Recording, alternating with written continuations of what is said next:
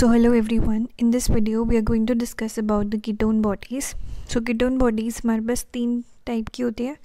Acetone aceto acetate two hydroxy butyric acid अब इनको ketone bodies इसलिए बोलते हैं क्योंकि इनके पास क्या है?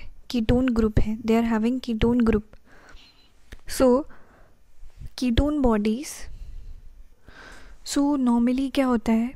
हमारी बॉडी कार्बोहाइड्रेट्स को यूज़ करती है as the source of energy to produce like ATP production के लिए। कार्बोहाइड्रेट्स जैसे ग्लूकोज है ग्लूकोज का हम उसको एज अ फ्यूल की तरह यूज़ करते हैं एनर्जी फ्यूल की तरह। लेकिन in the case of starvation किस केस में? स्टारवेशन के केस में। स्टारवेशन के केस में। या फिर डायबिटीज़ मेलिटिस के केस में। डायबिटीज़ मेलिटिस के केस में क्या होता है?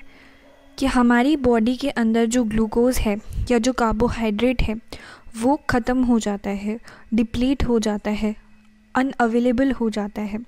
तो जब ग्लूकोज नहीं बचा हमारी बॉडी में, लेकिन हमारे सेल्स को क्या चाहिए? एनर्जी चाहिए काम करने के लिए? दे नीड एनर्जी तो हमारी बॉडी क्या करती है? जब ग्लूकोज अवेलेबल नहीं है तो हमारी बॉडी फैट्स को बर्न करना शुरू करती है।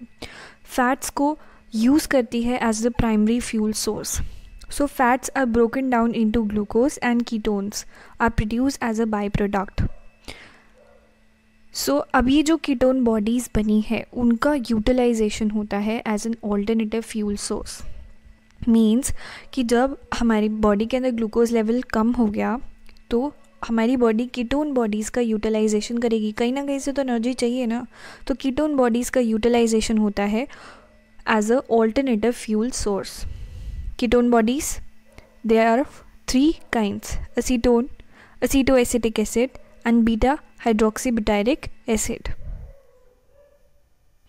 so when your body is getting fuel from the ketones then it is said that you are in a state of ketosis तो कीटोसिस का मतलब होता है जब आपकी बॉडी जो है कीटोन्स को as a fuel energy fuel की तरह यूज़ कर रही है दैट इज़ कीटोसिस अब आते हैं मेटाबॉलिज्म के ऊपर सबसे पहले हम सिंथेसिस देखेंगे। कीटोजेनेसिस कीटोजेनेसिस मतलब कीटोन बॉडीज़ का सिंथेसिस किस तरीके से हो रहा है। तो सबसे पहले इनिशियली में क्या होता है कि जो कीटोन बॉडी का फॉर्मेशन है, वो कहाँ पे हो रहा है? देखो कीटोन बॉडीज़ का जो सिंथेसिस है, वो कहाँ होता है? लिवर है। लिवर के जो सेल्स होते हैं विच इज़ हेपाटोसाइट्स अब उन सेल के अंदर क्या है? माइटोकॉन्ड्रिया है। तो लिवर का जो सेल है, उस सेल का जो माइटोकॉन्ड्रिया है, उसका जो मैट्रिक्स है, माइटोकॉन्ड्रिया का जो मैट्रिक्स है, वहाँ पर ये रिएक्शंस हो रही है। वहाँ पर क्या हो रहा है कीटोन बॉडी का फॉर्मेशन हो रहा है सिंथेसिस हो रही है। So ketone body formation occurs within the matrix of the liver mitochondria and it begins with the condensation of two acetyl CoA to form acetoacetyl CoA तो सबसे पहले दो जो एसिटाइल कोए है वो क्या बना लेते हैं? एसीटो एसिटाइल कोए ठीक है? दो एसिटाइल कोए क्या कंडेंसेशन हुआ। एंजाइम क्या है? एसीटो एसिटाइल कोए थियोलेस उसने क्या किया? असीटो एसिटाइल कोए बन गया कंडेंसेशन से। अब ये जो असीटो एसिटाइल कोए है नाउ फर्दर ये एक और एसीडाइल कोए के साथ में कंडेंस हो जाएगा। एक और एसीडाइल कोए के साथ में कंडेंस हो जाएगा। एंड यहाँ पे क्या बन जाएगा अपने पास? H M G CoA. H M G CoA बन रहा है तो एंजाइम कौन सा है? H M G CoA synthase H M G क्या है? That is beta hydroxy beta hydroxy beta methyl methyl glutaryl CoA. तो एच एम जी कोए बनने के बाद में, अब जो नेक्स्ट स्टेप है, अब ये जो एच एम जी कोए है उसका क्लिवेज होगा मतलब वो टूटेगा। टूटने के बाद हमें क्या मिलने वाला है? एक हमें मिल जाएगा असीटो एसीटेट और जो एसीटाइल कोए। तो यहाँ पे क्या हुआ है? क्लिवेज हुआ है और ये किसने करा है? H M G CoA lyase ने करा है।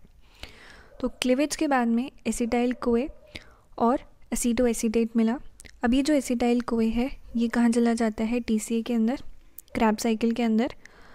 और ये जो असीटो एसीटेट बना है this is our first ketone body ये क्या है? हमारी कीटोन बॉडी अब ये जो असीटो एसीटेट है further it is reduced to form the beta hydroxy butyrate और जो एंजाइम इन्वॉल्व है that is beta hydroxy butyrate dehydrogenase aceto का हमारे पास स्पॉन्टेनियस डिकार्बोक्सिलेशन होता है। डिकार्बोक्सिलेशन मतलब removal of C O two जिससे कि हमें क्या मिलता है? असीटोन सो so, अब हमारे पास तीनों जो अपनी कीटोन बॉडीज़ हैं असीटो एसिडेट असीटोन और बीटा हाइड्रोक्सी ब्यूटायरेट ये बन चुकी है।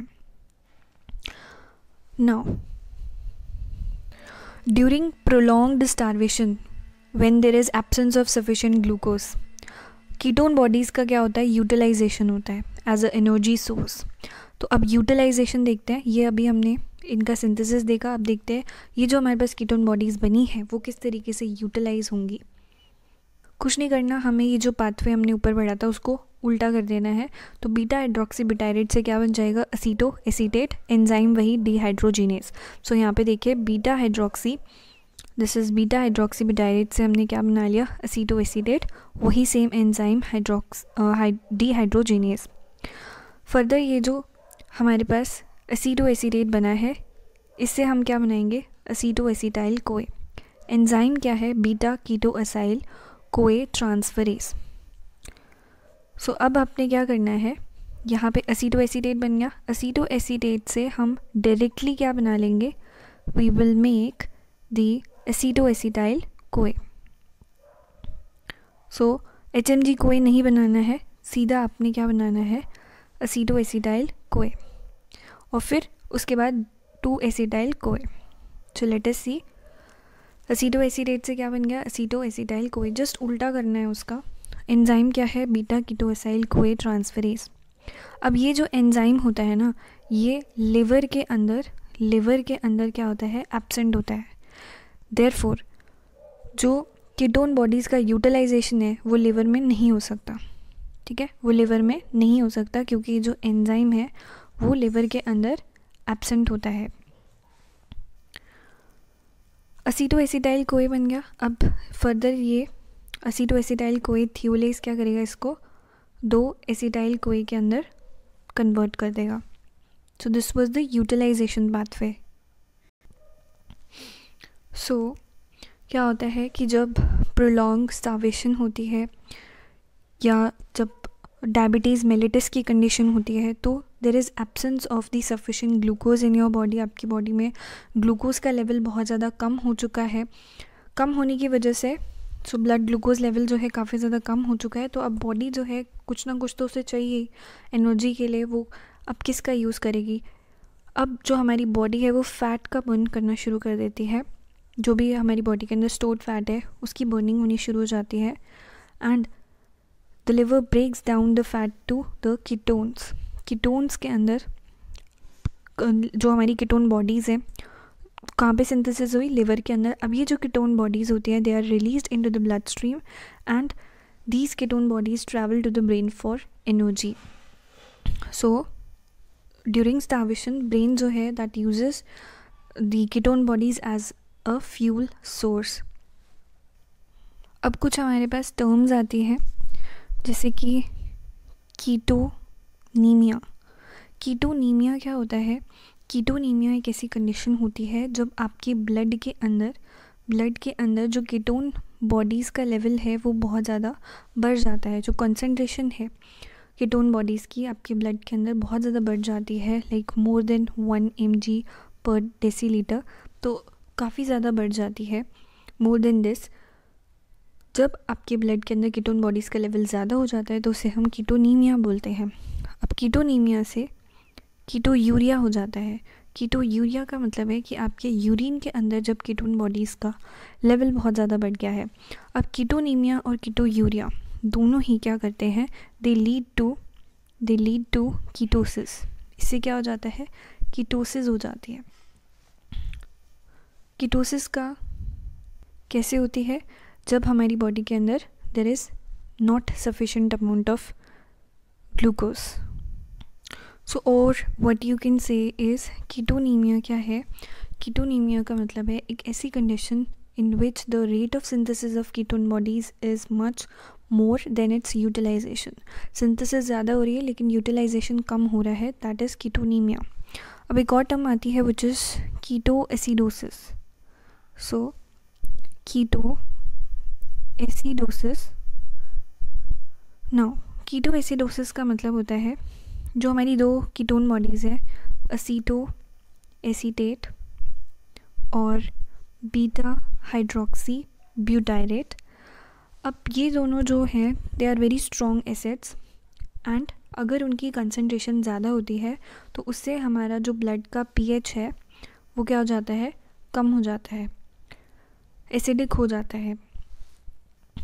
So this leads to acidosis in the blood and this is very dangerous and it may result in coma और even death now what is the basic difference between ketosis and ketoacidosis ketosis में low level of ketones in the blood लेकिन ketoacidosis में high level of ketones होते हैं हमारे blood के अंदर normal process of body safe function of low carbohydrates ketogenic diet लेकिन keto acidosis ज़्यादा डेंजरस है it can turn the blood acidic which is deadly if it is not treated at time because it can also result in coma and even death so keto acidosis occurs in the diabetes diabetic patients who don't take the enough insulin और they are not well और people who are starving और people who take intake of very alcohol is very high.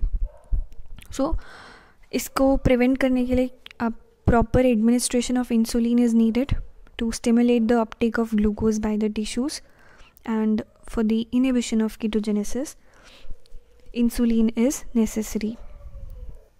So, the easiest way to confirm that you are in ketosis is to test your ketones using the blood testing meter. You are in ketosis once your ketone levels are at और above zero point five millimolar per litre now what are the signs insomnia keto breath यानी कि बहुत गंदी smell आती है। जब भी आप सांस लोगे तो बहुत गंदी स्मेल आएगी आपकी। एपिटाइट जो है सप्रेशन मीन्स आपको भूख कम लगेगी, आपको थकावट होगी एंड मसल क्रैम्स आएँगे।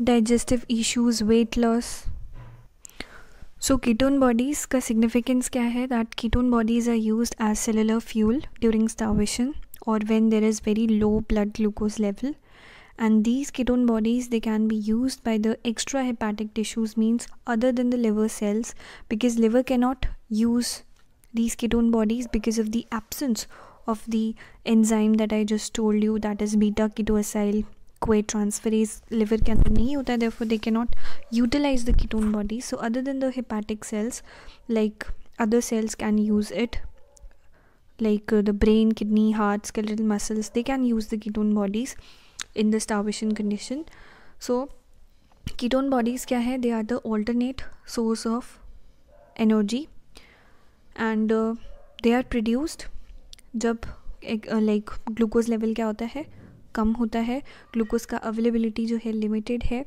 और सेलुलर एनर्जी डिप्रेवेशन कंडीशन है, जिससे डायबिटीज़ मेलेटस और स्टाविशन के केस में होता है। So that's all for today if you like the video do share it with your friends and don't forget to subscribe the channel for more updates thank you and have a great day